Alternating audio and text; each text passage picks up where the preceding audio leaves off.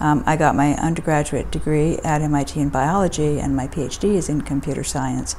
And throughout my career, I've uh, worked extensively in using uh, computer science techniques to analyze uh, uh language uh, and looking at things like information summarization.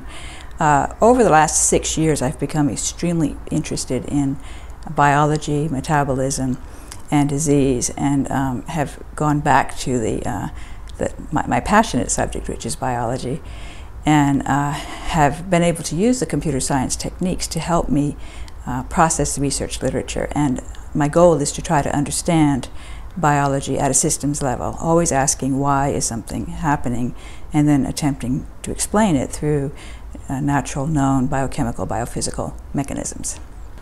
So I was motivated to turn my attention to biology six years ago when my husband was, uh, we were caught by surprise. He was diagnosed with heart disease and surgery, a stent was inserted, and uh, he was immediately put on a statin drug. And um, I uh, was disappointed that I didn't know more about heart disease at that time, and so I immediately started studying everything I could about heart disease and about statin drugs because he was experiencing side effects that I did not like.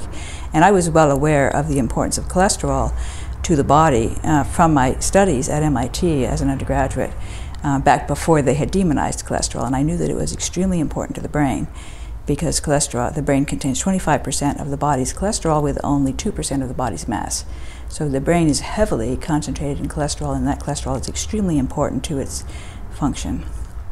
So I did not like the fact that he was taking a statin drug, and eventually I persuaded him to go off of it against his doctor's advice. And so for the last five years, he has not been taking a statin drug, and he's been doing very well in his health.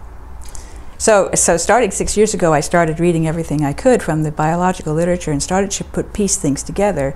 I wanted to understand for myself uh, what is causing heart disease. And in my journey, I ended up, I believe, discovering what is causing Alzheimer's as well.